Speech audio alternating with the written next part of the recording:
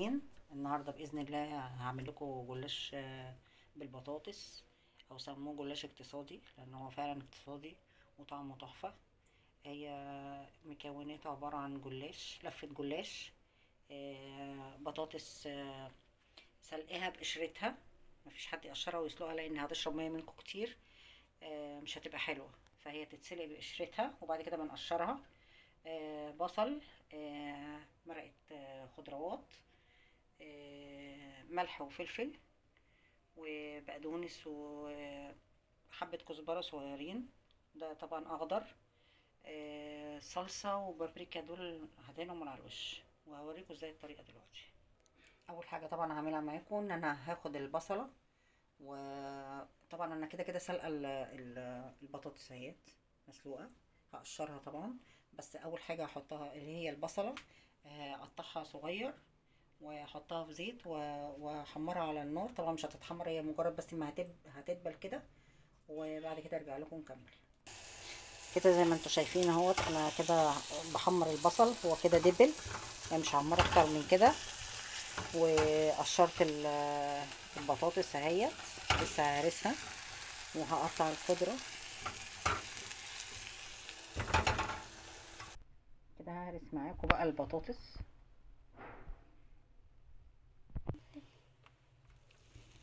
هي طبعا أنا هرستها كلها. طبعا أنا مش عاوزه أضيف عليها ولا زيت ولا حاجة لأن كده كده الجلاش هبقى حاطة فيه زيت.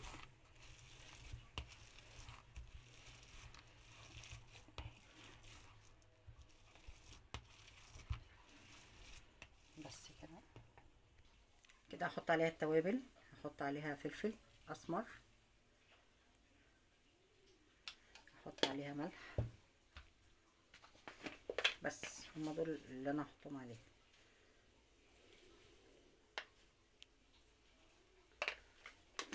هحط بقى عليها آه طبعا هيتقلبوا كده الأول. كده أنا قلبت أهوت. طبعا هضيف عليه البصل. زي ما أنتم شايفين أنا مش محمراه أنا مدبلاه بس كده. طبعا أنا من عشاق البصل والتوابل. يعني ده أهم حاجة في الأكل. هما اللي بيدوا طعم وريحة في كل الأكل. هقلبهم برضو كده وأحط بعد كده عليهم الخضرة. وأدوق بقى وبعد كده يعني نشوف هنعمل إيه. كده أنا خلطت بقى البصل مع زي ما أنتم شايفين طبعا البصل كان فيه زيت عشان كده أنا ما رضيتش أحط زيت عشان برضو الزيت ما يبقاش كتير. لأنه بيعمل حرقان. وما برضاش إن أنا أزود منه في الأكل. أدي كده. هحط بقى عليه البقدونس والكزبرة. حسب بقى الكمية أنتوا عاوزين تحطوا كله هنحط كده وهنشوف مع بعض محتاجة تاني ولا لأ. يعني كده أنا متهيألي إن هي مش محتاجة تاني.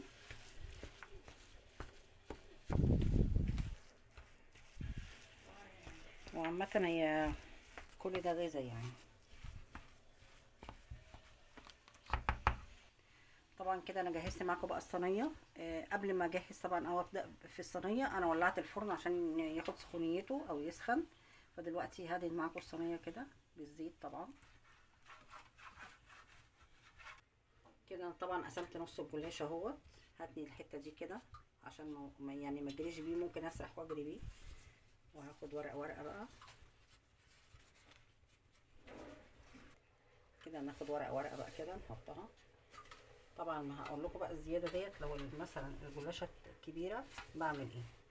اهي بظبطها كده الأول واتني لجوه كده واتني من هنا. طبعا مش هكتر الزيت. وأقوم دهنه كده زيت حاجات بسيطة أو رشاشة زيت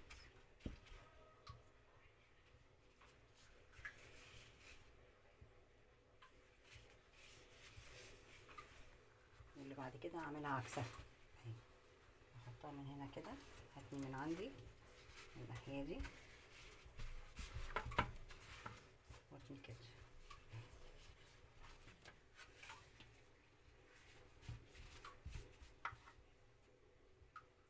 برضو رشاشة زيت بسيطة كده. هعملها لكم تاني برضو.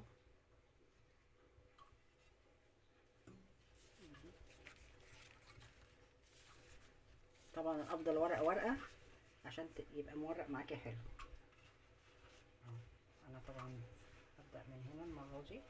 اهو هاتني كده.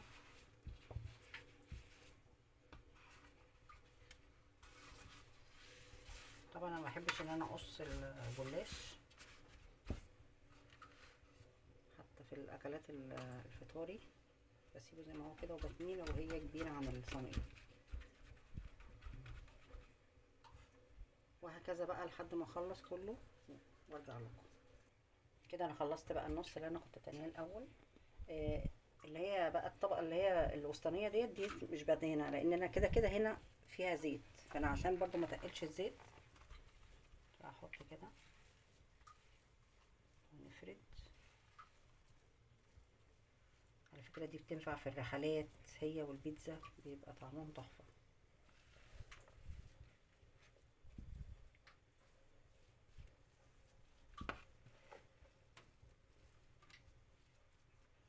والكزبرة اللي بحطها مش بحط كتير على فكرة. يعني هو هي أساسها بقدونس بس الكزبرة بتدي ريحة حلوة فيه. الكزبرة الخضراء عامة بتدي ريحة حلوة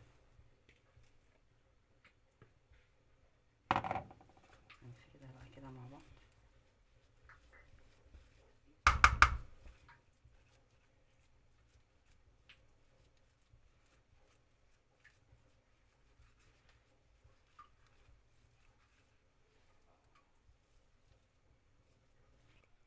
كده أنا فردت اهوت ال- البطاطس وسويتها حلو. هبتدي برضه أحط باقي الطبقات. كده هكمل بقى.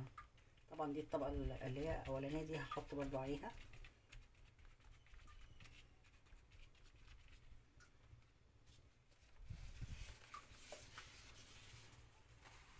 برضه واحدة عكس واحدة كده. على فكرة ممكن اللي اتبقى ده بقطعه. واعمله سمبوسه يعني نفس يعني أحشيه وأطبقه زي السمبوسك بالظبط لأن بتبقى العرض بتاعه أو طوله بيبقى نفس نفس مقاس السمبوسك فممكن إن أنا آخد كل ورقتين كده وأحشيهم وأقوم مطبقهم زي السمبوسك بالظبط. وتتقلي برضو في في الزيت.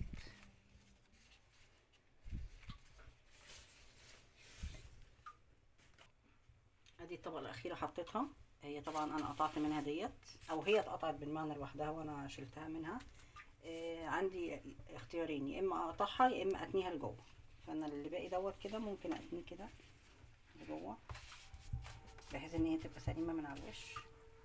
وأبتدي إن أنا أسقيها بالزيت.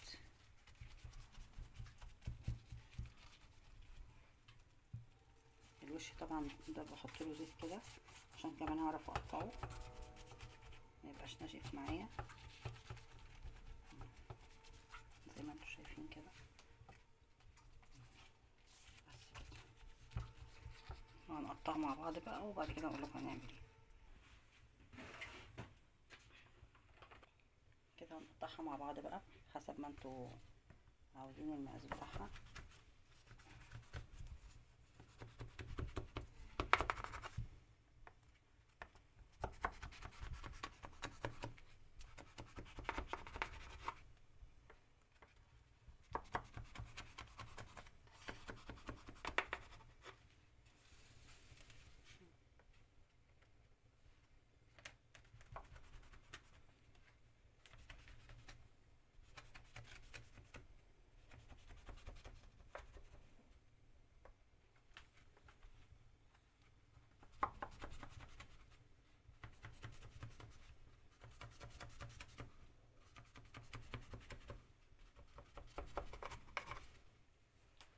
بس بعد كده بقى هنجيب آه، معلقة صلصة صغيرة.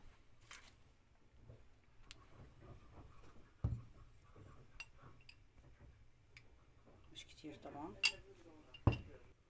حبة بابريك كده صغيرين. أقلبهم كده مع بعض. وادهن الوش. وممكن بدخلها كده الفرن من غير ما بدهنها ولا حاجة. بس أنا عشان تتحمر معايا حلو دهناها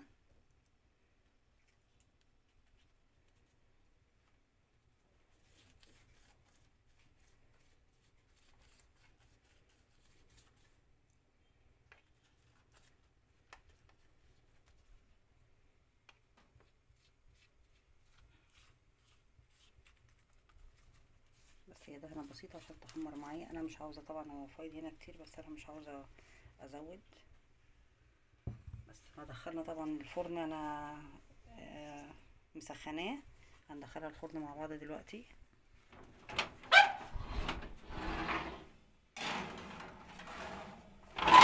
عقبال ما تاخد السخونية وتنشف شوية هكون أنا جبت آه، مرقة ومية سخنة دوبت فيها المرقة. وزي ما بعمل اللبن بالظبط. يعني في الجلاش ال- اللي هو الفطاري أنا بعمل مثلا قيمة كوباية لبن وبسقيها بيه. ديت بقى هعملها بال- بالمرقة اللي هي مرقة الخضروات. كده هطلعها من كده.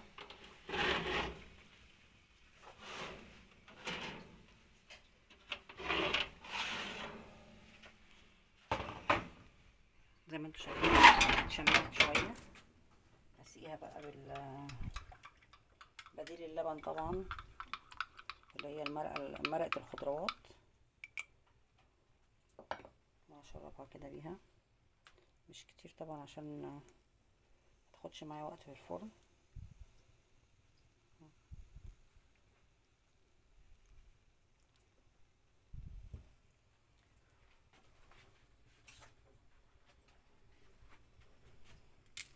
طبعا اشرب الجناب بس كده بس الجناب معايا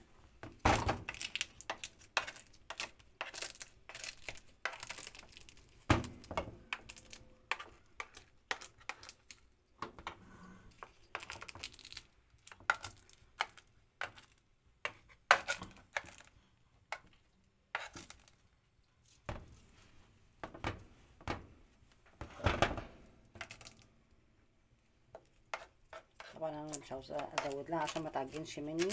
أو تبقى مش حلوة. وتاخد وقت معايا في الفرن. لأ. هو كده اتشرب كله. زي ما أنتم شايفين. وادخلها تاني الفرن. وانتوا طبعا شايفين إن هي ما خدتش النص كوباية كلها. هدخلها الفرن بقى لما تتحمر خالص. وأطلعها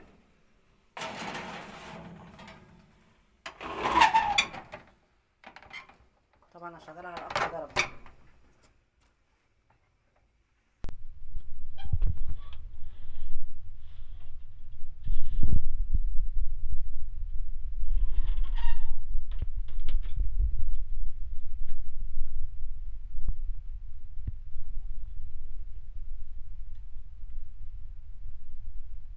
زي ما أنا قلت لكم لو أنتوا عاوزين تستغنوا عن الخطشه بالصلصه اللي على الوش ديت تستغنوا عنها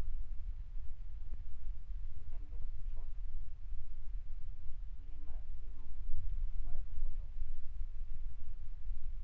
هتهدى شوية واقطعها لكم كده هنطلعها معاكم اهوت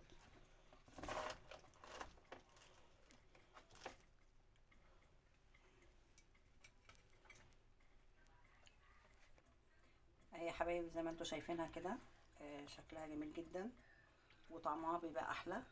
آه، أتمنى إن أنتوا تجربوها وهي اقتصادية خالص مش مكلفة. و انتظروني في فيديو جديد وباي باي.